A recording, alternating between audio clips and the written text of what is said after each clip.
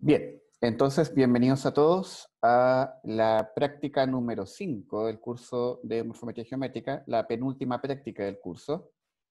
Eh, hemos llegado de forma muy rápida a, la penúltima práctica. Eh, ya no me doy cuenta cómo han pasado seis semanas de que partió el curso. Eh, les voy a pedir entonces que abran todos MorfoJ. Hoy vamos a ver ecomorfología, integración y modularidad. Eh, vamos a partir con un ejemplo básico de modularidad con una ala 3D y luego vamos a hacer un análisis de ecomorfología con un PLS en dos bloques eh, con un archivo 3D. Vamos a ir a crear nuevo proyecto, Create New Project. Ya todos tenemos abierto el MorfoJ y vamos a ir al material que tenemos de la práctica ya 5. Entonces, eh, como van a ser dos ejemplos, los que vamos a ver hoy, eh, el primer ejemplo va a ser de eh, integración y modularidad. ¿Ya?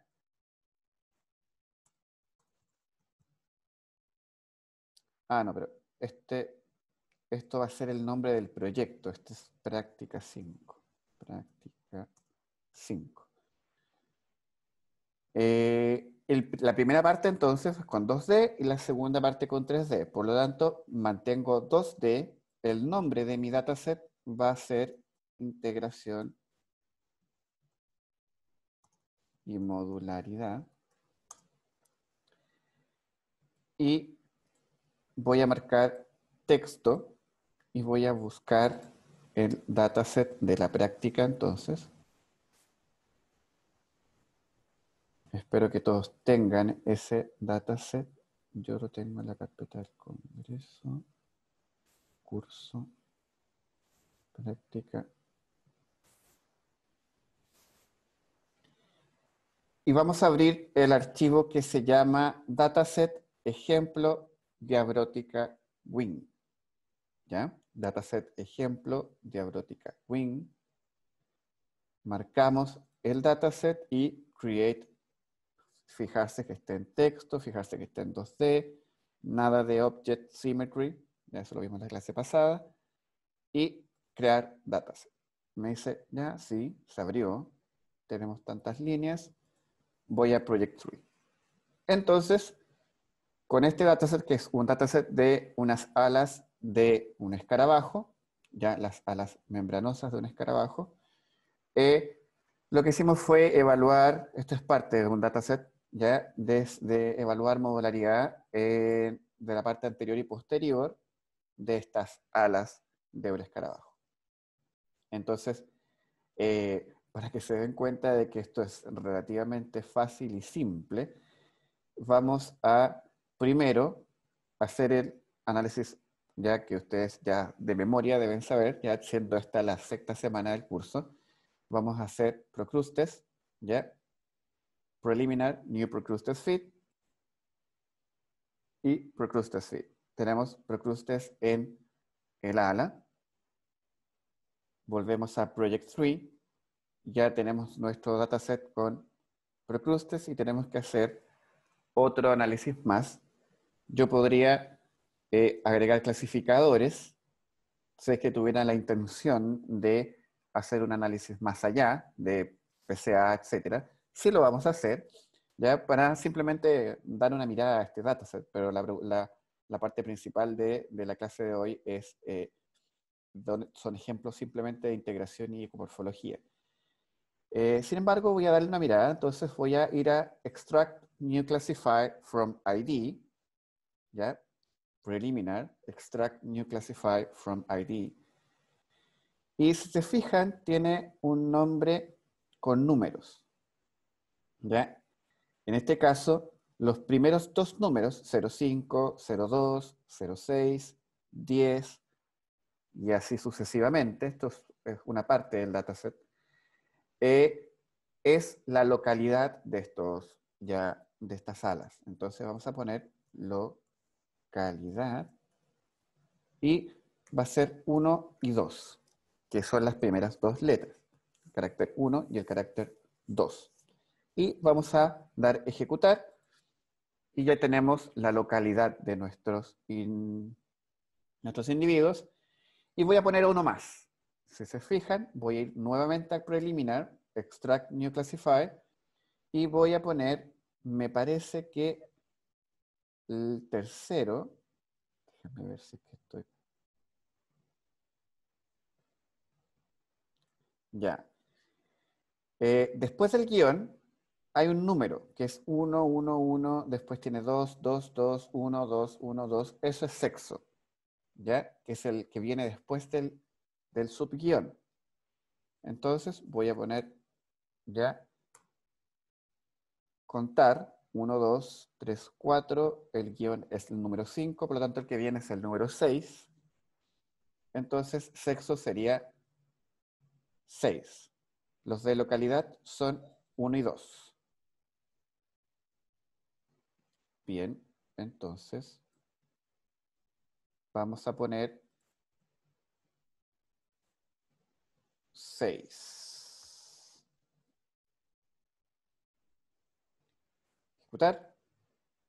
Y ya tengo entonces localidad y sexo. Y teniendo los clasificadores, ahora voy a hacer una matriz de covarianza. ¿ya? Como ya lo habíamos visto y lo vimos en las clases. Preliminar generar matriz de covarianza, generate covariance matrix. Tengo el dataset que es el único que tenemos y vamos a hacer nuestra matriz de covarianza seleccionando los propuestos coordinate, ejecutar. Entonces, como ya les comenté, la matriz de covarianza lo que hace es ordenar ya los datasets provenientes del análisis de precrustes. Entonces, Luego, teniendo ese, ya esa matriz de covarianza, yo puedo hacer partes de los ya análisis multivariados que eh, estamos interesados en hacer. Vamos a hacer una simple PCA para que recuerden que se puede hacer. Un simple PCA es simplemente marcando la matriz y a variation, principal component analysis. Entonces, variation, principal component analysis y tenemos nuestro PCA. Si nos fijamos, ya la, variación es poquita, está en el 23% el componente 1, no es mucho. Por lo tanto, esto me podría indicar de que antes, sin ver los PC scores, antes, sin ver la proyección del PCA, al ver poca variación en esto, me podría indicar que quizás probablemente la variación que tienen estos individuos poblacionalmente y sexo sea poquita, voy al PC y efectivamente, miren, esto es casi como un componente asimétrico, ya no se ve nada de variación. Por lo tanto, eh, estos individuos probablemente eh, no tienen eh, una diferenciación alar en lo que estamos buscando. Entonces eso lo hace igual interesante en que diferentes poblaciones ya no están tan diferenciadas por el ala blanda del escarabajo. Entonces yo puedo marcar color por localidades y ahí pueden ustedes poner el color que ustedes quieran. ¿ya? Yo ese azul le voy a poner un negro. Quieren que marcar el color y después use color. Y si se fijan, ya no tengo mucha variación en realidad no tengo nada de variación. Tengo algo, algo de algunos individuos que están por fuera, que podría quizás, si yo hago un CBA, sacar afuera el rojo y el verde, probablemente saldrían, saldrían, si se fijan, acá tienen más variación, entonces podrían salir fuera en, el CBA por localidades. ¿Ya? Eh, pero en general la, la varianza no es no es alta en esto, vía poblaciones. Y probablemente vía sexo tampoco. Entonces yo puedo colorear por sexo también. ¿Ya? Tenemos también, le puse, simplemente puse clic derecho color y esta vez cambié a sexo. Perdón. Tampoco. Entonces ya, ok. En realidad no estoy interesado en esto, estoy interesado en otra pregunta que tiene que ver con integración y modularidad. Pero al ver también que los eigenvalues están bastante repartidos, algo podría haber en términos de integración. Voy a ir a Project 3 y voy a hacer un análisis ya para ver aspectos de la modularidad de mi, un poco de agua, ya, esta es la supuesta fotografía que deberíamos ya ver, que si se fijan en la parte, tenemos una parte anterior y una parte posterior del landmark con colores.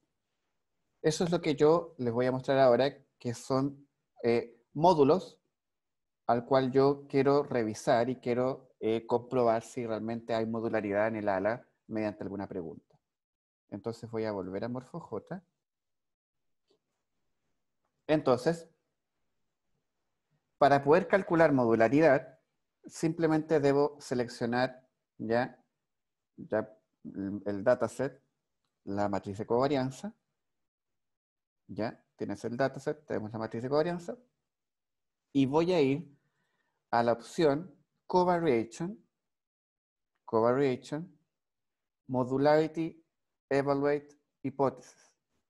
Voy a marcar la opción y me va a abrir entonces covariation, modularity, evaluate hypothesis y me va a marcar esta ventana que está acá, en la cual tengo diferentes ventanas, subventanas.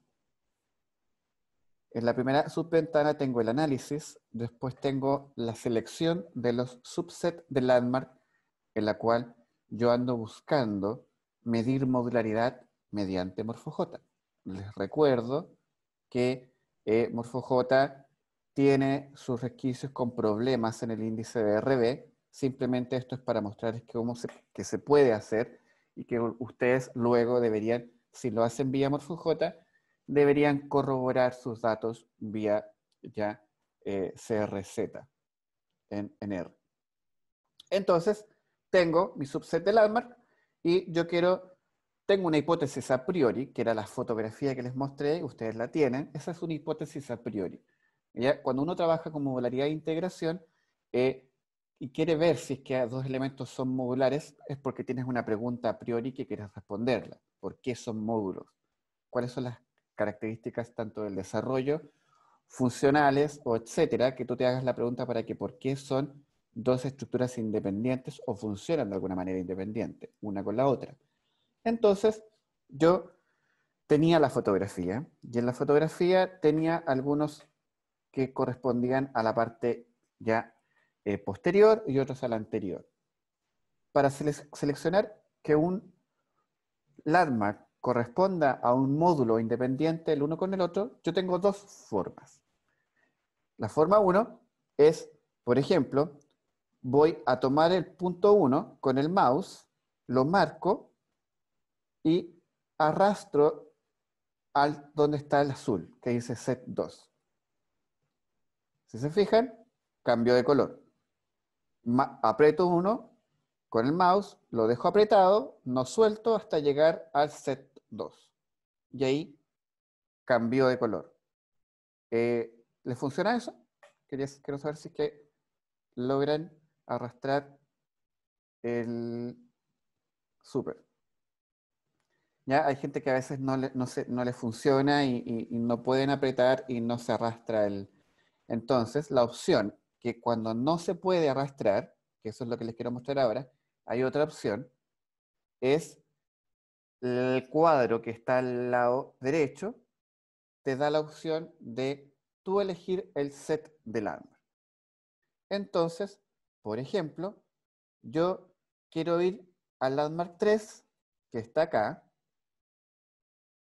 el landmark 3 y le quiero decir, no, perdón, al landmark 2, o bueno, al landmark 3, eh, ustedes ven cuál quieren y le dicen, lo marcan en el cuadrito, en el caso voy a marcar el 3, y marco acá donde dice set. Quiero que el landmark 3 corresponda al set 2. ¿Ya? Entonces, quiero que el landmark 3, selecciono el landmark 3, sea del set 2. Y aprieto ya asignar. Y ahí, en esta vez, también cambió de color, pero sin arrastrar. ¿Ya? Entonces tengo el 1, el 3 y el 2. Entonces a los que no les funcionó, ¿les funcionó ahora? Esa es una pregunta. Eh, para el que no le había funcionado, esta vez debió haber cambiado el, el color.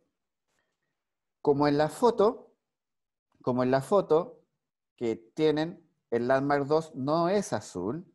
Yo lo puse azul para mostrarles el ejemplo. Voy a mandar, voy a marcar el Landmark 2 o lo puedo hacer acá, marcar el Landmark 2 y poner set 1. ¿Ya? O tomar el Landmark 2 y moverlo al set 1, arrastrarlo. Bien. Recuerden que estamos en la opción que dice Select Subset of Landmark, ¿ya? que es la segunda.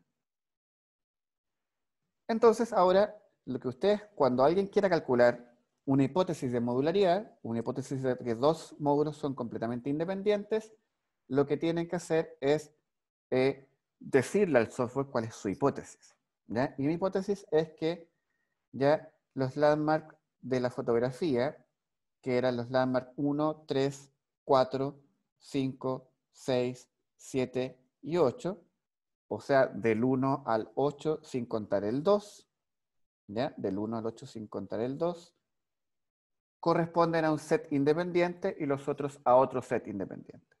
Entonces, 1, 3, el 4 lo puedo arrastrar al azul, fíjense, el 7 lo puedo arrastrar al azul, puede ser cualquier orden.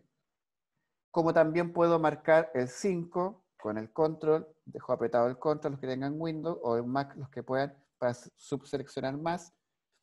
Puedo marcar el 5, el 6 y el 8 y los asigno al set 2. Y ahí yo tengo asignadas las hipótesis que correspondería a mi módulo eh, posterior y módulo anterior está con rojo. Entonces, una vez ya seleccionado los, los colores, que es del 1 al 8 sin contar el 2, voy a dar aceptar. Voy a dar aceptar. Me vuelve a la, me vuelve a la ventanita del análisis. ¿Ya? Al volver a la ventanita del análisis, eh, yo puedo ya responder lo que dicen los cuadros ahí, que es el nombre, como también tengo la opción de ir a la tercera ventana, que era que dice modificar ya las conexiones entre puntos, o sea, los factores de covariación que hay entre el arma, ya los links. Uno puede hacer esto y puede cambiar links, es decir, que el Landmark 2 conecta con el 10, así como conecta con el 4. Pues fíjense que el 2 conecta con el 10, pero también conecta con el 11 y también conecta con el 13, como también conecta con el 4 y con el 3 y con el 1. Yo puedo quitarle una conexión, por ejemplo, de que el 2 conecte con el 3 y la puedo buscar acá cuál es, cuál es 2 con 3, y cuando la encuentre, la puedo eliminar. Entonces, porque probablemente no tiene. O puedo agregar una más, una línea más. Y esto se puede cambiar el gráfico de conectividad de cada uno de los sets de lambda. Yo no lo voy a cambiar lo dejé a priori como el que te entrega el programa, como son las conexiones entre estos puntos. Y voy a volver a la ventana que dice, eh, dice Start Analysis. Y acá voy a cambiar el nombre, dice Modularity Hypothesis. En este caso voy a poner anterior versus posterior. Para darle un nombre a la primera, al primer eh, la primera hipótesis de modularidad que estoy pidiéndole al programa que me haga. ¿Ya? Esto es así, súper simple. Y luego me dice, hay una ventana que dice, ¿quieres que evalúe los contiguous partition only?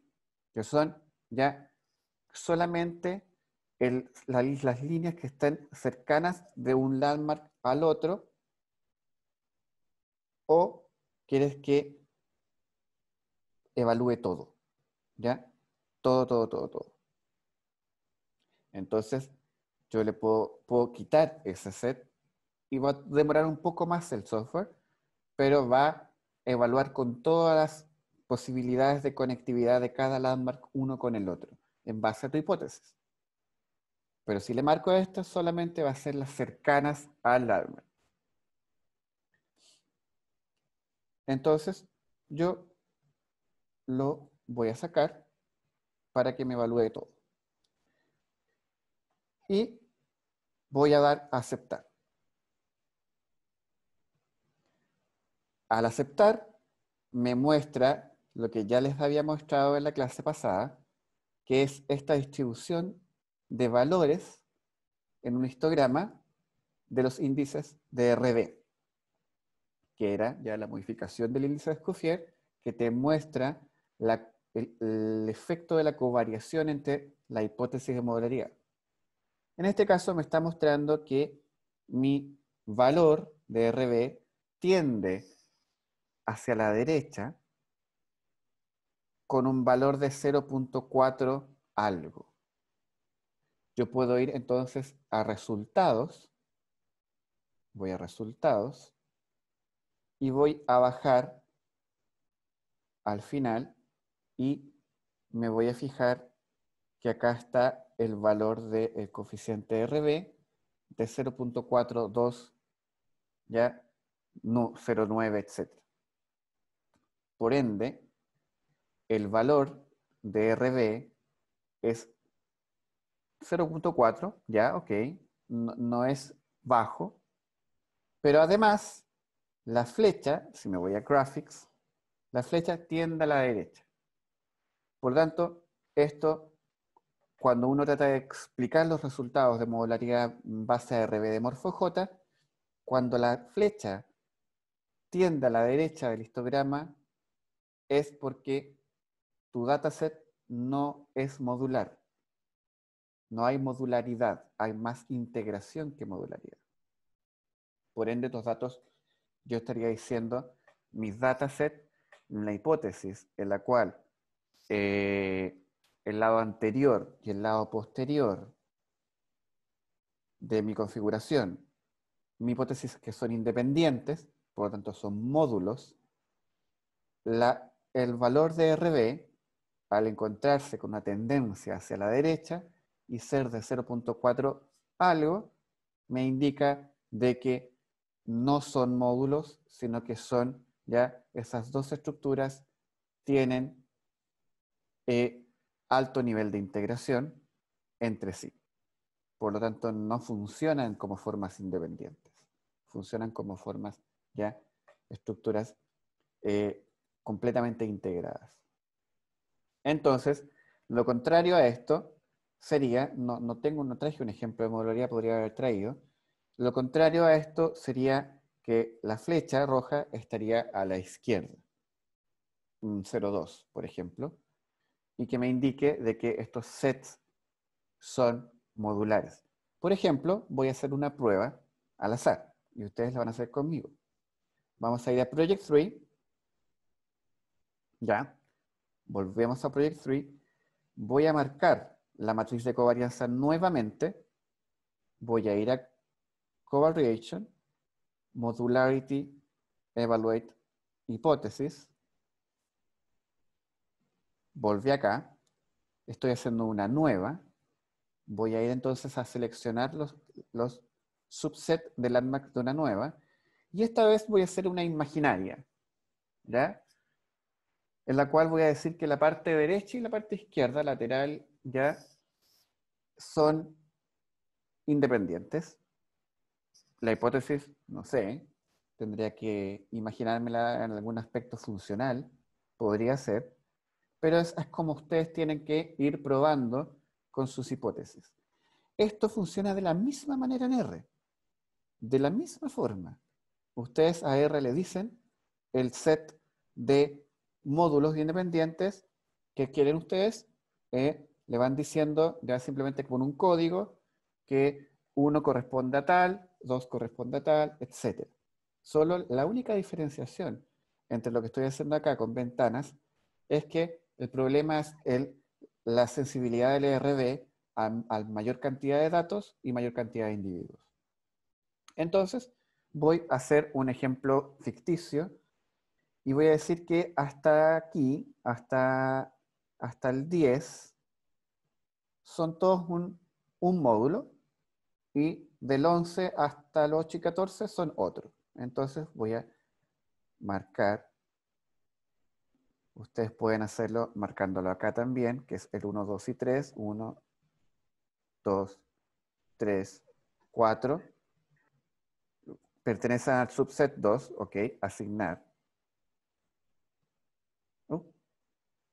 1, 2, 3, 4, al set 2, me equivoqué. ¿Ya? Y voy a decir que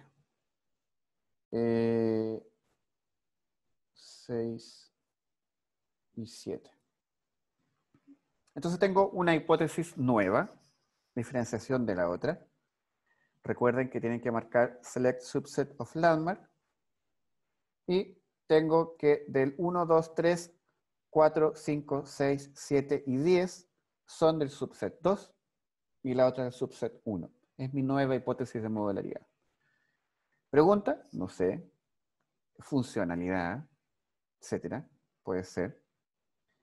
Eh, le doy a aceptar, me va a mandar a la ventana del nombre y voy acá a poner un nombre que es modularity hipótesis. Ya, acá yo le voy a poner simplemente 2. y eh, además voy a dejar contiguous partition only. Voy a dejar marcado que evalúe solamente con ellas, con las que están cercanas entre sí. Y voy a dar aceptar. Fíjense qué pasa ahora. Ahora encontré de que la flecha tiende directamente a la izquierda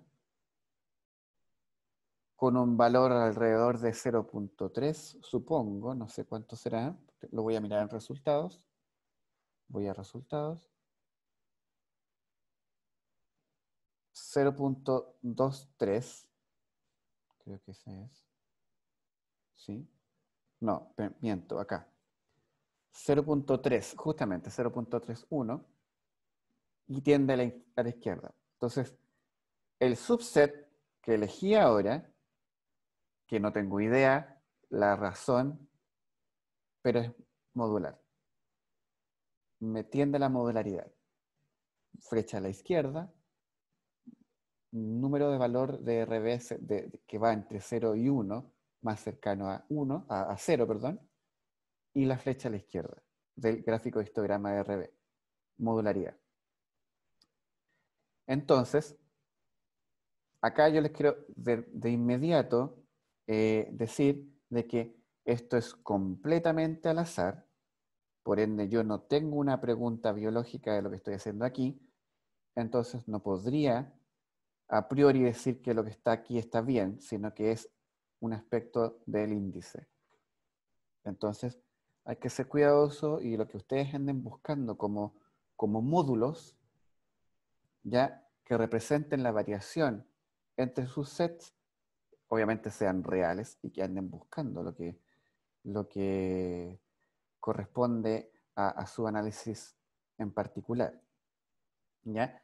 Pero bueno, simplemente comentarles que esto ocurre de la misma manera en R y es súper importante tener en cuenta la biología de las relaciones que están buscando.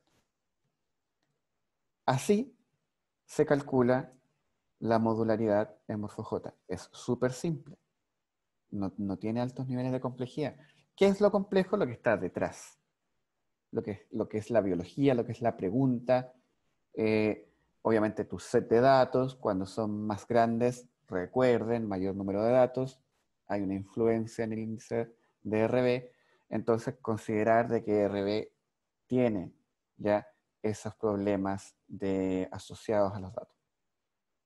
Bien, entonces voy a ir a Project 3 y les voy a comentar que, eh, qué más puedo hacer con este set de datos. Eh, lo que puedo hacer es calcular un PLS. voy a calcular un PLS con los set de datos también, que es un PLS que es para calcular integración, pero con ya los mismos datos, con, una configuración de landmark, no con bloques. Entonces, voy a marcar mi matriz de covarianza, marco la matriz de covarianza, voy a ir a la a covariation partial least square, esta vez PLS, y voy a ir con within configuration. Entonces, un PLS entre las configuraciones del ARM. Le voy a dar aceptar y acá les voy a mostrar una pillería de MorphoJ que por si tienen, no sé, 150 landmark, la pueden solucionar, que es simplemente eh, tomando una hipótesis anterior. Entonces, si se fijan, si ustedes tienen abierto eh, MorphoJ en este momento aquí, tienen la que hicimos justo anteriormente, esta, y tenemos la otra acá arriba, que está en hipótesis. Tenemos la 2 y tenemos el último con el que estamos trabajando. ¿Ya? Son simplemente las pestañas que están arriba. La 2, la otra que hicimos la primera vez, y acá yo lo que voy a hacer es clic derecho en la primera que hice y voy a poner copy information. Copy information. Lo marco. Voy a volver a la anterior y voy a ir a la que estoy trabajando ahora. Y acá, donde dice Select Subset of Landmark, clic derecho, Paste Partition. Y acabo de pegar el subset del arma de la hipótesis anterior en el nuevo que quiero hacer de PLS. Recuerden que acá voy a calcular ya el valor de RB de la covariación entre dos sets de landmark. Entonces probablemente va a ser eh, lo mismo. Entonces voy a hacer lo mismo. Voy a ir a la hipótesis anterior. Voy a clic derecho, copy information clic derecho, Copy Information, el anterior de las pestañas de arriba. Y voy a volver a la mía. Ya voy a limpiar esto que hice recién. Y voy a clic derecho, Paste Partition.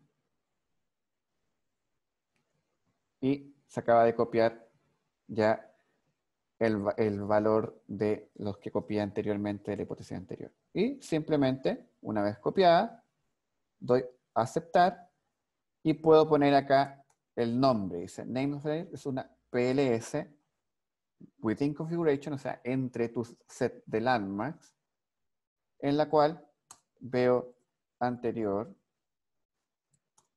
versus posterior quieres que evalúe un test de permutación para ver si que realmente esta relación de covariación entre el set A con el set B son significativas o no, yo le puedo marcar, ok, calcúlame un test, un valor P de la permutación que diga que mi set 1 con mi set 2 ya son independientes o son, o cuál es el valor de RB de covariación de ellos doy a aceptar y me calcula un PLS, ¿ya? En donde tengo bloques de relación entre dos sets. Esto nosotros lo vamos a hacer, se puede hacer cuando calculas eh, partes de organismos, ya que no tienen el mismo número de landmark, se puede hacer en PLC dos bloques.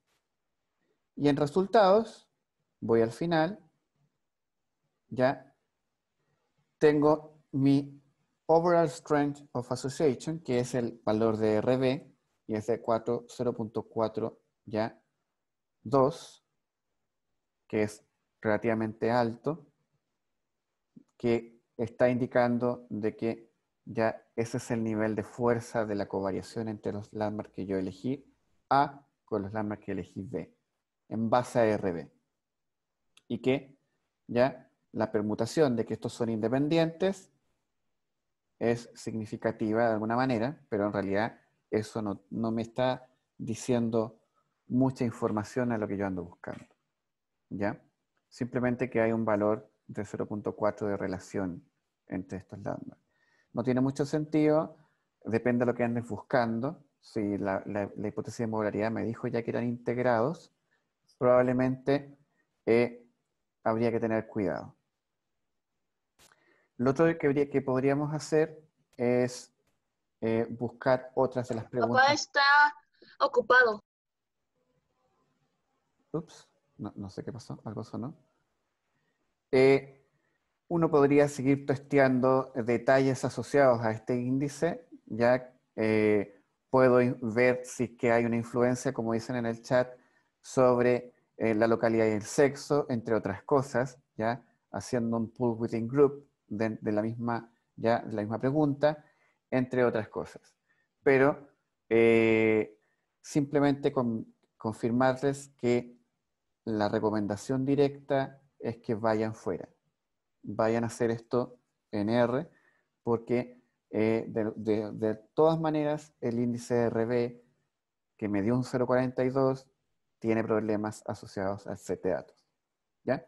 Pero eh, como es un curso, hay que mostrarles que todo se puede hacer y de esta manera se puede calcular eh, la integración y modularidad mediante MorphoJ. Bien. ahora vamos a abrir el dataset de ecomorfología, ¿ya? Ese fue el paso, un paso muy rapidito de eh, la parte de integración y modularidad. Yo entiendo que sea muy corto, pero en realidad prefiero no ir más allá porque en realidad ya no se usa. Es algo que, que está completamente dejado. Entonces, voy a ir a File. En este caso vamos a abrir el archivo 3D para que vean que eh, no me he olvidado de, que la clase de hoy era 3D, así que por lo menos para que podamos ver algo en 3D. Eh, y no decepcionarlos de que había una clase 3D y que teníamos algo de 3D. Entonces, vamos en, el mismo, en este mismo archivo. Lo que voy a hacer simplemente es Acá quizás bajarlo, se fijan, hay una pestañita que yo puedo juntar toda la información y ahí queda. Entonces, voy a crear ahora un new dataset y voy a abrir el de ecomorfología. Eh, antes de que vayamos al de ecomorfología, yo les quiero comentar de que, eh, déjenme ver si tengo el paper y se los puedo mostrar aquí. Sí, lo tengo. Voy a compartir mi pantalla a lo que les voy a mostrar ahora. Eh, lo que les voy a mostrar ahora corresponde a dar parte, porque es un, pedacito, de este paper que está aquí, que es del Biological Journal of Linnean Society, eh, que es de Sarah Elton con Andrea Cardini, que lo que hacen es ver ya la variación en divergencia de, poblaciones en África, de monos, ¿ya? Y quiero que vean este, este, este mapa. En este mapa yo tengo diferentes especies, subespecies de monos, que eh, están distribuidos, fíjense los triangulares que son los sebáceos, cebados, perdón, están en esta parte ya oeste norte de de, África y otros están más asociados a la zona de, Sudáfrica, Cape Town, eh, entre otras partes ya de la distribución de estas especies de mono. Entonces, eh, la idea es poder ver esta asociación con lo que ellos hacen son diferentes índices, ya calculan tamaño, calculan eh, PCAs, fíjense que no es tan, no es tan eh, elaborado, están los PCAs en sus diferentes grupos, ahí tienen eh, grados con latitud, algunos análisis te usan un mesh 3D de un gráfico y lo utilizan para poder calcular eh, la forma de estos datos. Voy a volver a MorfoJ.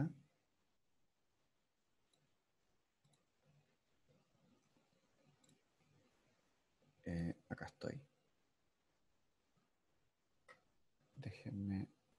Voy a poner el chat por si alguien pregunta algo y no los pierdo. Aquí está. Bien. Entonces, eh, lo que voy a hacer ahora va a ser abrir el nuevo set de datos, ¿ya? El set de datos yo lo voy a ir a buscar a la práctica 5, entonces File, Create New Dataset. Acá le voy a poner ecomorfología 3D. Entonces, vamos a cambiar la dimensionalidad del dato. En este caso, la dimensionalidad es 3D. Entonces, marcamos tres dimensiones. Luego, lo que voy a hacer es marcar el que no hemos marcado nunca, que es morfológica. El tipo de datos es morfológica. A lo que me refiero ahora es que estos landmarks fueron digitalizados y creado, y creado un, wireframe utilizando otro de los software de morfometría geométrica eh, que se utilizaba para la landmark 3D, que partió, cuando esto partió, me refiero a varios años atrás, más de, ya, más de 15 años atrás, eh, morfológica se utilizaba para poner eh, Landmark en 3D. Luego esto evolucionó a Evan, Evan Tool, que es del laboratorio de, de, de Polo Higgins. Bueno, parte del Dennis Slice esta era parte del, de la creación de morfológica. Eh, y vamos a buscar el dataset. Yo lo tengo entonces en la práctica de ecomorfología. Y vamos a abrir el que dice Dataset Morfológica, ya Verbets Geography. Morfológica, entonces, no olviden haber dejado marcado morfológica y haber dejado marcado 3D, porque si no, no va a abrir. Y crear dataset. Me va a haber creado el dataset, acá está. Ese es el nuevo ecomorfología 3D y el wireframe inmediatamente. Eso es bueno porque tengo al tiro el dibujito del el archivo 3D. Entonces, este procedimiento lo sabemos completamente de memoria. Vamos a hacer procrustes. Marco ecomorfología, ¿ya? Y new procrustes fit. New Procrustes Fit, mantengo tal cual, no hago ningún cambio, voy a hacer Perform Procrustes Fit. Ahora, si se fijan, acá, al hacer Procrustes Fit, tengo tres ejes. Eje 1 con 2, 1 con 3 y 2 con 3. O sea, estoy viendo mi estructura tanto de lado atrás, etc. Los que no puedan abrir esto es porque no han marcado la opción que les que en Create New Dataset 3D Morphologic. ¿Ya? Entonces, puedo fijarme que ahora tengo un dataset está digitalizado de forma 3D, en la cual está tomando mis puntos como semi-landmark, como landmark. Recuerden que MorphoJ el sliding lo transforma en landmark. Estamos trabajando con landmark ahora. Y puedo ya darme cuenta, así sin poner unir puntos, que podría ser esto un cráneo de un monito. Project 3. Y ahora voy a hacer una matriz de covarianza. Una matriz de covarianza de mis datos. Preliminar. Generate covariance matrix. Generate covariance matrix. Marco ecomorfología. Y si ustedes se fijan, son curiosos, acá dice groups, que es cuando uno agrega los clasificadores. Bueno, en este dataset ya venían incluidos los, los clasificadores de latitud y longitud geográfico. Pero les voy a mostrar que también se pueden incluir. Ustedes pueden agregar esos, esos valores a sus datos. Voy a dar ejecutar marqué S y S, ejecutar, tengo mi matriz de covarianza. La tengo. Si yo voy al dataset acá, ecomorfología 3D, yo puedo ir a preliminar y puedo ir a edit covariate. No edit classify, edit covariate. Y puedo en este caso están agregadas ya, pero puedo yo agregar un valor de covarianza de estos datos. Ya sea, por ejemplo, si tienes 50 eh, datos de 5 poblaciones y esas 5 poblaciones están a diferentes grupos de altura, yo puedo ver acá, por ejemplo, que del 1 al... Acá son 23. Del 1 al 4 es la población que está a mil metros, entonces yo puedo acá agregar uno que diga altitud y puedo poner mil, mil, mil, mil, etc. Ahora, si se fijan, acá todos tienen valores distintos, porque son ya colectas de o de presencia, ausencia, o de fotografía, o de muestras de museo, de cráneos de estos monos para el paper que les mostré justo anteriormente. Entonces, Voy a ir atrás para mostrar cómo hice esto.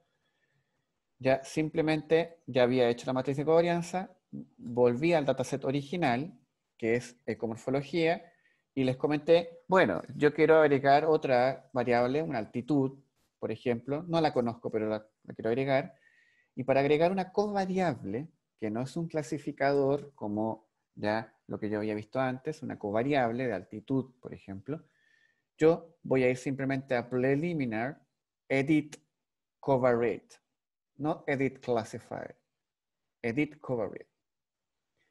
Acá ya están incluidas las que venían con el archivo, porque venían de una digitalización en la cual yo extraje esos datos completos y los puse acá. Entonces venían ya con eso. Entonces, simplemente si quiero agregar una más, voy a poner add covariate. Ahí dice add covariate. Y, por ejemplo, altitud. Obviamente esto es falso. Yo lo voy a hacer acá para mostrarles cómo se hace. Y después la voy a borrar. Altitud. Ok. Y me agregó una variable de altitud que no tengo. Y yo puedo dar doble clic acá y poner, no sé, 1500 metros de altura. ¿Ya? Doble clic acá y puedo decir que este, no sé, fue capturado a, en realidad, 230 metros nivel del mar, etcétera. Y ustedes, entonces, pueden agregar todas sus covariables que ustedes quieran en, base a sus datos ya que ustedes estén trabajando. En este caso son solamente 23 individuos, ya no son altos individuos, son cráneos de mono. Y si algo está mal, simplemente la pueden marcar acá en el cuadro de abajo la marcan, yo voy a borrar altitud, obviamente, y delete covariate. Fuera. Se fue la variable de covarianza de altitud. Y entonces así pueden ustedes crear temperatura, pueden crear humedad, pueden crear lo que ustedes anden buscando. Ya es muy importante que si trabajan con organismos que se les puede medir la temperatura por forma independiente, es mucho más fácil, porque cuando el valor es lineal, es un poco más complicado. Por ejemplo, colectaste una trampa, 50 eh, individuos, y la temperatura va a ser igual para los 50 individuos, entonces va a quedar una línea. Ya, voy a darle a aceptar. Sé que ya tengo covariables entonces agregadas. Pero primero quiero jugar un poco, quiero mirar mis datos 3D, entonces voy a hacer un PCA, un componente principal. ¿Ya? Entonces la voy a agregar acá. Eh, ah, me hace una pregunta, si la, variable, la covariable debe ser sí o sí numérica. Eh, sí, sí, eh, es numérica porque debe hacer un cálculo. Yo he utilizado variables no numéricas, como por ejemplo tipo de suelo, le asigné un número en realidad, pero tampoco el análisis es muy efectivo entonces hay que buscar elaboraciones de índices en este caso para cuando no son, no son numéricas. En el trabajo que les mostré en la clase pasada, eh, de Puchel, que él lo que hacía era estimar eh, la locomoción, o sea, si habían, ciertos saltaban o si movían entre árboles, lo que hizo Puchel, eh, Tomás lo que hizo fue buscar un índice para este tipo de locomoción y ingresó un nivel de índice. ¿Ya? También pueden ser genotipos, también pueden ser... Acá lo, lindo de esto es que las covariables pueden ser variadas. Ya pueden ser diferentes tipos de covariables. Voy a hacer un PCA, voy a marcar la matriz y voy a ir a Variation Principal Component Analysis. Y me voy a quedar en la primera pantalla, que es el PC1. Y antes de hacer nada acá, yo voy a ponerle el wireframe. Voy a ponerle para que se vea el dibujo de lo que se hizo acá. Entonces voy a ir a Change the Type of Graph, Wireframe Graph. Entonces clic derecho, Change the Type of Graph, Wireframe Graph. Y acá ya, ya veo algo, ya veo un mono, o veo un cráneo de un mono, lo posible puede ser. Solo que me queda el starting shape, me queda marcado atrás, que es el, starting shape, es el average shape del promedio de mis datos, y yo lo voy a sacar, porque no quiero ver ese starting shape. Y lo saco, ya les mostré en dos clases, les mostré cómo se hacía eso, les voy a repetir. Voy a ir a preliminar, preliminar, set option for shape graph. Preliminar, set option for shape graph selecciono y voy a ir a las de wireframe, porque estaba usando wireframe. Acá me muestra todas. Voy a ir a la de wireframe, que es la tercera. Esta es Lollipop, Transformation Grid, wireframe. Y voy a desmarcar el starting shape. Lo desmarqué. Acá puedo sacar los números, etc. Una vez desmarcado esto, voy a dar a aceptar. Y acá, yo, como no se ve, simplemente voy a cambiar de una ventana a otra. Voy a cambiar acá de la ventana que está en arribita, voy a volver a la ecomorfología y voy a volver de nuevo a que soy pastel. Tiene que ser el cuarto. Nada, yo les dije el tercero, no, tiene que ser el cuarto. Voy a preliminar, set option for check graph, le saqué al, al outline no al wireframe. Le saqué a este, que dice Warped Outline Drawing, ese es el dibujo. Me equivoqué. Tengo que ser el otro. Tiene que ser el último, el que dice Wireframe Graph. Ahí sí. Ahí le saqué al último el Starting Shape. Y voy a darle a aceptar. Y ahora sí que sí, pues, si cambio y vuelvo, etc. Excelente. Entonces, acá ustedes pueden ver el PC1 con eh, el tipo de conectado a los wireframes. Y pueden ver ya los diferentes ejes. Entonces, si le dan clic derecho acá, pueden ir a Choose Access to Display. Choose Access to Display. Y le puedo cambiar acá al 1 con el 3, 2 con el 3. Como esto yo lo hice rápido, ahora lo voy a volver a mostrar. Lo que hice simplemente fue ya dar, puse, voy a volver acá, clic derecho, change the type of graph, wireframe, me mostró el dibujo, y luego le quité el azul, al quitarle ese azul celeste que estaba, simplemente en preliminar, set option for shape graph, preliminar, el último, y fui al último que era wireframe graph. Wireframe graph, saqué el starting shape, lo dejé deseleccionado, ¿ya? Deseleccionado, a aceptar, y luego cambié una ventanita arriba, cambié una por otra, volví a la misma y desaparece el azul. Y acá entonces lo que les voy a mostrar era que puedo cambiar el eje. Choose Access to Display. Entonces voy a poner el 1 con el 3. Entonces lo que hice fue el cráneo, verlo por atrás. ¿Se fijan?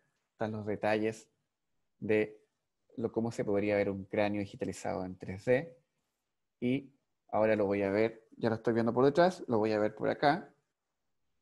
Entonces voy a ver el 2 con el 3. Entonces, cambia la cosa. La información es distinta, la cantidad de información es mucho mayor, obviamente la posibilidad de poder observar ya. Sigo teniendo una desventaja. Voy a volver al 1 con el 2. Mi desventaja es que no tengo la opción en MorphoJ de mover yo la digitalización. Es muy simple. O es el eje 1 con el 2, o el 2 con el 3, etc. Pero en otros aspectos de la morfometría 3D, uno tiene la facilidad de tú girar a tu conveniencia y a tu gusto la vista que quieras hacer del cráneo 3D. ¿ya? Por eso es bueno eh, a veces ir a otro software para estos tipos de análisis. Pero se puede hacer en MorphoJ. No es que no se pueda hacer. Está la opción. Y voy a ir a los agent values. Me fijo que el componente 1 ya es bastante alto en consideración a los otros. Está en el 20 algo. ¿ya? Eh, ojo, el mito de que el componente principal 1 sea ultra alto y que los demás entre todos cumplan una alta cantidad de variación es un mito, ¿ya? Mientras, mientras estemos viendo algo de variación, porque si no vemos nada es porque realmente no hay ni una cosa biológica que responder. Entonces acá yo veo los puntos en el PCA y puedo agrandarlos Voy a resize data points, voy a poner 20. creo que es mucho. Voy a poner un poco más chico, 15. Y le puedo dar color. Color data. Acá a los grupos. Entonces, le voy a cambiar a uno de los verdes, que hay dos verdes. Y OK. Entonces, eh, ya puedo ver el gráfico del PCA, en donde tengo cada uno de mis individuos. Eh, pero yo ando en búsqueda de la relación que hay de estos individuos en el gráfico de la foto que les puse en la carpeta de la práctica, que la foto que les puse era la distribución de los verbos. No sé si se acuerdan, que yo las voy a poner acá. Esta era la foto ¿ya? Voy a acercarla un poco. Que era estos cráneos, ¿ya? Y quiero ver su distribución. Entonces lo que voy a hacer es ver la distribución y qué tal se conecta la covariancia de la variable de, de latitud y longitud con la variable forma. Entonces, cerré eh, la foto, vuelvo a MorphoJ y voy a ir a Project 3 y con esto ya estoy llegando ya casi al final y de la matriz de covarianza de mi dataset ya de ecomorfología, de la matriz de covarianza voy a hacer en covariation un PLS de dos bloques, partial least squares, two separate blocks. PLS de dos bloques. Bloque 1, forma. Forma, shape, shape region. Pero primero busquen el dataset. Entonces el dataset era ecomorfología 3D, así se llamaba el nombre del dataset. Luego me dice, ¿cuál es la matriz que vas a usar? Yo voy a usar la matriz de mis Procrustes Coordinate, que es forma. ¿Ya? Y me dice, ¿cuál variable? Procrustes Coordinate. Entonces marqué el dataset 3D, la matriz y la variable. Y luego me voy al bloque 2. Y en mi bloque 2 también proviene de mi dataset ecomorfología 3D, pero esta vez la covariate. Covariate. Y voy a probar calcular la covarianza de la forma con latitud y longitud. Entonces voy a marcar latitud y voy a marcar control o la opción que ustedes tengan en Mac para dejar dos marcados. Latitud y longitud con la forma. Entonces así yo puedo ya imaginarme a África que tenía, que, que es el dataset de estos datos, de estos monos, que tiene tanto especímenes en una zona por longitud y en otras zonas por ya latitud del continente. Y tengo las variables ya numéricas de latitud y longitud, que las voy a correlacionar ahora con la forma del cráneo del mono. Nombre, simplemente PLS, COVA, eh, PLS, eh, dos bloques, forma versus latitud y longitud. Y voy a pedir que me calcule ya una permutación en la cual me indica que la hipótesis nula es no relación de covarianza entre la latitud y longitud con la forma. Y voy a dar ejecutar. Entonces, acá me calculó. Yo acá lo que puedo hacer también es poner el dibujo. Tengo el bloque 2, que son mis dos variables de latitud y longitud. Luego tengo los porcentajes de PLS de covarianza. Y luego tengo esto, que no se ve, ya que es el PLS Scores Block 1 versus Block 2, que es lo que yo quiero ver. Ando buscando esta relación. Eh, y como no se ve, yo simplemente tengo que hacer clic derecho acá y quitarle esa opción que dice Use same scaling for both axes. Son escalas distintas. Entonces, les voy a quitar esta opción para que me muestre ya las escalas de cada uno. Entonces, ahora tengo mi eje ya de forma y mi eje de covarianza en un PLS, en un partial least squared, que me va a revisar la influencia que hay entre la covarianza de latitud longitud con forma. Y voy a poner acá que me agrande un poco estos puntos a 15. Y que me ponga el color de estos datos. Entonces marco, me fijo que no sean los mismos colores, ya entonces yo acá, eh, este así no, le voy a poner un negro, ya. Y por ejemplo a Pita que tiene también un azul similar a Saba, le voy a poner, eh, no sé, un plomo.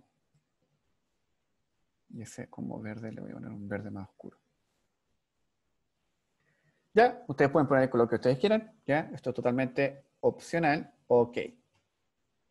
Entonces, ahora ustedes se fijan acá que el PLS me está mostrando ya la relación que hay entre sus variables ya latitudinales y longitudinales con la forma.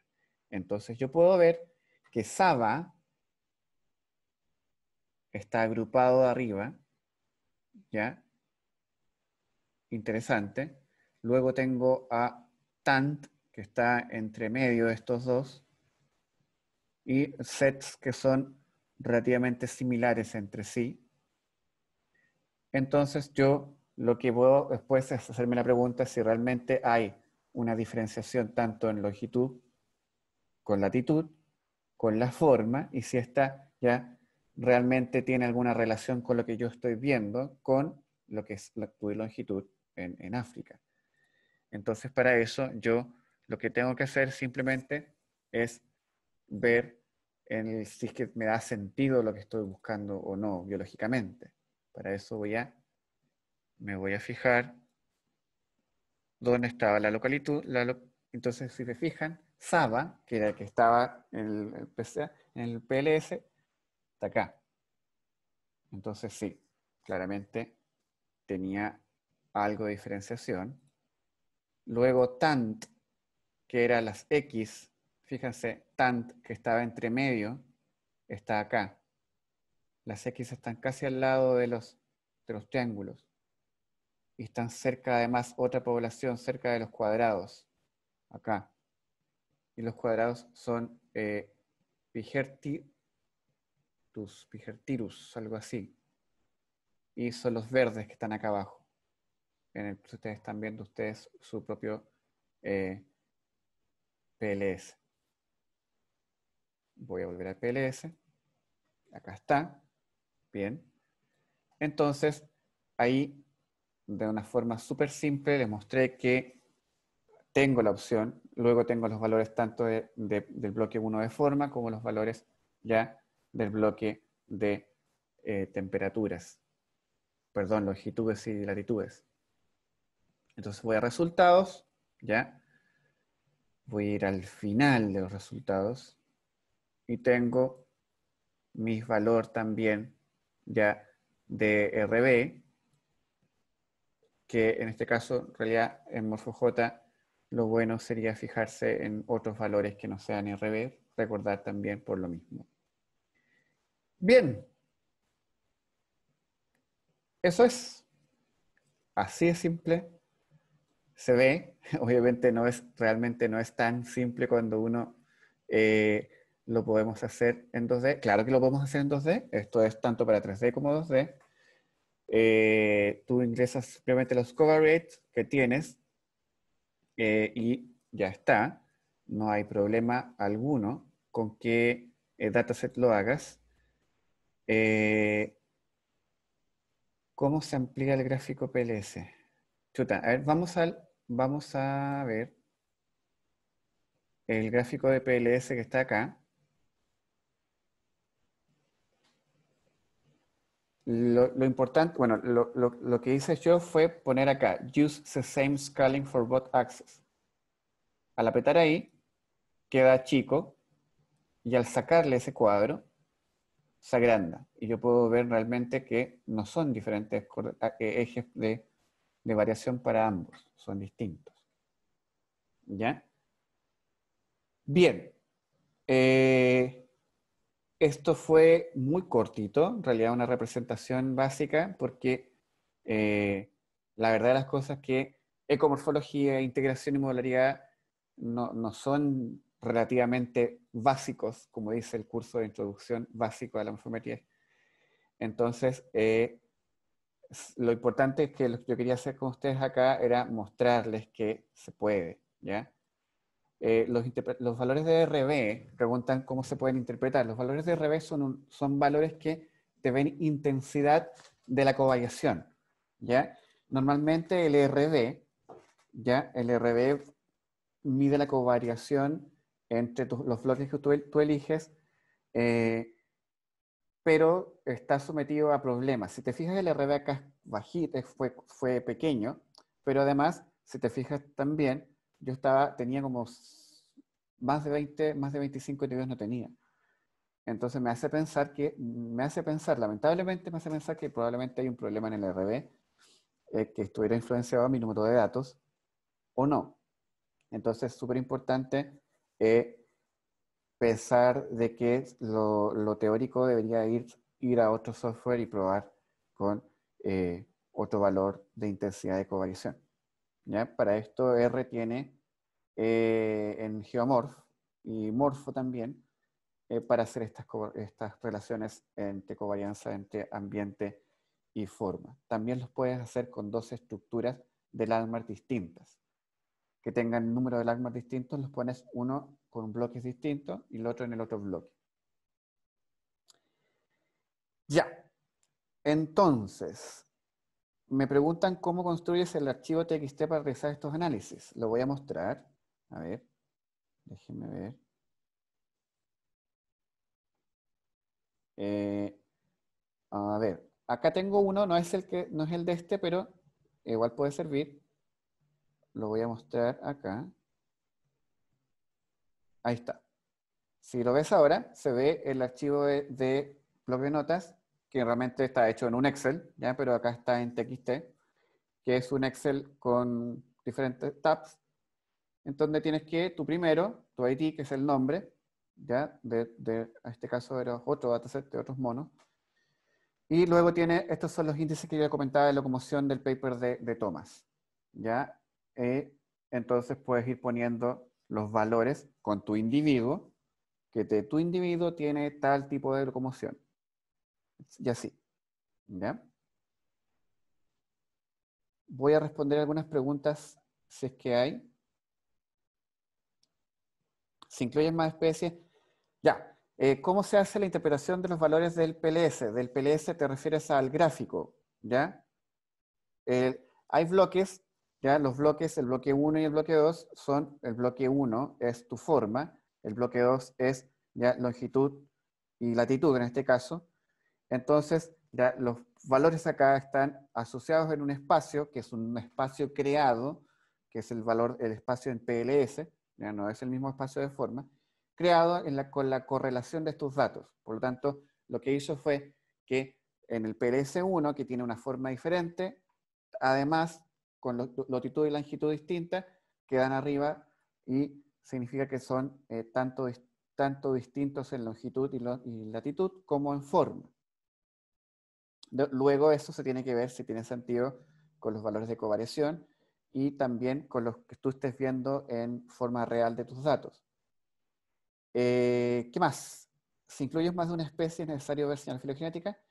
Claro, por supuesto. O sea, teóricamente, si tú quieres incluir eh, algún efecto de la, de la, filogenia en este caso, eh, deberías por lo menos tratar de, de, tirar algún análisis de señal filogenética que en este caso utilice la variable como, como, como coordenada a, testear, que significa que, ejemplo, formas similares, formas similares eh, entre especies son similares en la misma filogenia y ahí podrías tener señal filogenética por forma. Eso lo vamos a hablar eh, la próxima, bueno, el viernes, que el viernes es la última clase del curso, hemos llegado directamente al final, eh, en la cual vamos a hacer una clase de, filogenia y evolución con morfometría geométrica.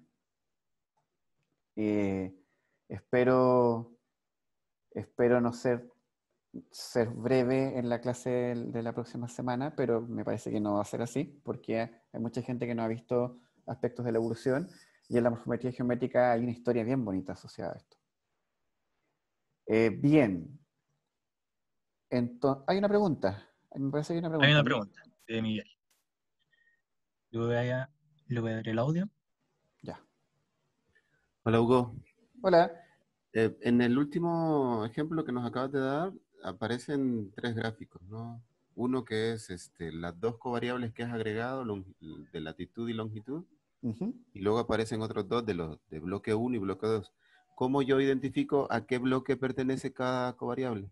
Tú la seleccionas, tú le entregas el bloque, tú le dices, cuando tú agregas, haces el análisis, te fijas que tú pusiste en uno Proposed Coordinate y en el otro pusiste el cover rate, tú estás, eh, el, el, de la izquierda es bloque 1, el de la derecha es bloque 2. Tú, tú lo eliges. Tú ah, sabes en ese momento fue. Sí, así es. Ok, ok. Gracias. Bien, de nada. Creo que hay otra. Alfonso. ¿Ya? Hola Hugo, buenas tardes. Hola. Una pregunta. Eh, un landmark no puede pertenecer a dos bloques, ¿verdad? un landmark no puede pertenecer a dos bloques. Tú dices que... En tanto El- en modularidad, que No, claro, claro, no. No puedes Ajá. tener un, un landmark que cuando veas modularidad, cuando quieras hacer eh, evaluación en la misma configuración, eh, claro, el, el- landmark que tú selecciones al bloque 1 va a ser del bloque 1, no va a estar en el bloque 2. Tú dices por la funcionalidad del bloque, ¿o no? exactamente. Claro, sí, eh, eso es una pregunta típica que uno hace, que, que claro, que si, si bien puede pertenecer al bloque 1, pero en realidad el bloque 2 funciona completamente con, el, con la otra estructura. Entonces, eh, en, en ese caso no se puede, lamentablemente en esta parte no se puede y me parece que cuando lo eliges en, en R tampoco. ¿Pertenece a uno o pertenece al otro? Ok, y otra rápidamente. Si, si nosotros encontramos que existe alometría y hacemos la corrección y trabajamos con los residuales, eh, ¿pudiéramos hacer tanto modularidad como, como morfología con los residuales? Eh, lo- pregúntame de nuevo, perdón. Sí, si nosotros encontramos que nuestros datos tienen un efecto de la alometría ¿Ya? y, utilizamos, y sacamos residuales, ¿podemos utilizar los residuales tanto para hacer modularidad como para hacer el análisis ecomorfológico? Por supuesto, sí, claro que sí. Sí.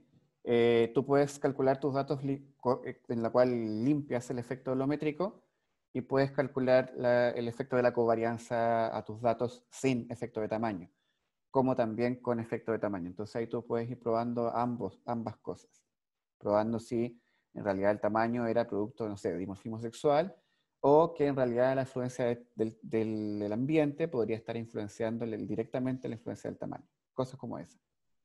Ok, muchas gracias, Hugo. De nada. Pedro Jiménez. Hola, hola Hugo. Eh, Hola. una consulta, por favor. ¿Cómo hago la interpretación? En la ventana de resultados al final me salen unos p-valores y unos valores de correlación. Entiendo que los valores de correlación son precisamente lo que se ve en la gráfica, ¿no es cierto? ¿Y, y el resto de valores? Ya, ¿El, el p-valor qué interpreta ahí? ya. Cuando tú ves el, ca- el resultados, normalmente te va a dar, lo, lo principal que tú tienes que ver en este caso sería el, el valor de RB, que es la asociación entre bloques. Mm, ¿Ya? En ese caso, eh, creo que daba 034 o algo así. Luego, lo que te muestra, ya, luego te entrega la permutación. ¿ya? Lo que hace es evalúa si realmente eh, estos bloques hay relaciones o no, y ves estas relaciones independientes, sí o no. Entonces ahí te entrega un valor P. Y luego te entrega los singular values para cada efecto de cada bloque. Y en ese caso, lo que te va a entregar en realidad ser un porcentaje de explicación de cada uno de los bloques, en donde el primero va a ser tu forma y el segundo va a ser tu tamaño. Esos valores en realidad no, no, no, los, no, son, no se usan mucho. En realidad no, no, la, explicación de los últimos valores, de los singular values, no, no tiene mucho sentido, eh, al menos en la pregunta que te estoy haciendo, lo que, en realidad, porque lo que busca es la asociación. ¿Aló? Ahí. Sí, sí, eh, una, una última consulta, por favor. El- entonces, el valor del RB en este caso, que es el que deberíamos fijarnos para esto, Así es. al tratarse de un valor bajo, estamos hablando entonces de que sí existe una buena asociación. Al ser un valor, al ser un valor bajo, claro. Porque En este caso, supone- 0.34. Ah, porque claro, porque teóricamente, si, lo, si es que lo piensas en el sentido de que, de que cero es completamente independiente y uno totalmente asociado, sería así. ¿ya? Vale. Habría que verlo por esa forma. Ahora, eh, hay otras, hay otras eh, diferenciaciones en estos índices cuando lo tiras por fuera, cuando lo analizas con...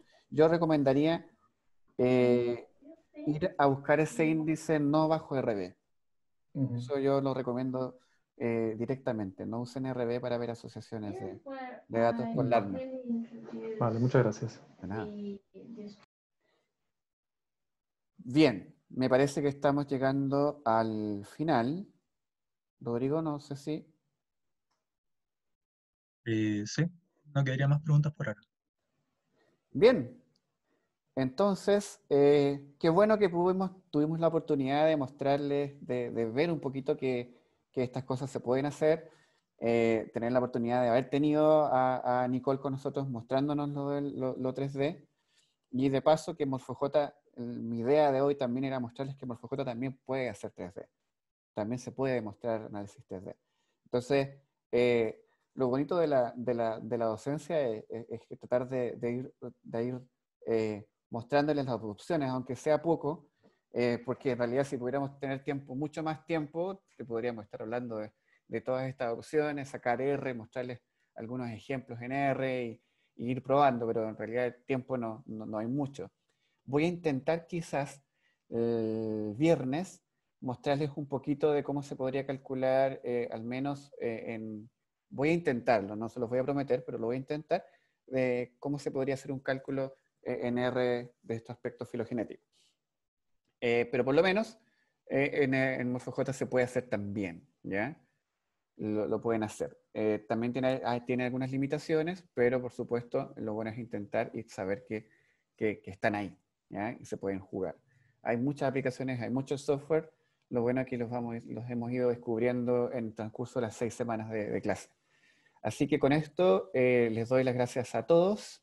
Obviamente le doy las gracias a Nicole, que creo que ya no está conectada, pero le doy las gracias a Nicole eh, por habernos acompañado con su, su, muy bonita clase de 3D, por haber puesto la piedra y decir que va a hacernos un curso de digitalización en Viewbox, cosa que eh, no se me ha olvidado y se lo voy a recomendar. Eh, así que con esto doy por terminada la clase del, día de hoy. Nos vemos en la última clase del curso de morfometría geométrica. Espero estén todos porque me gustaría hacer a, a eso de las una.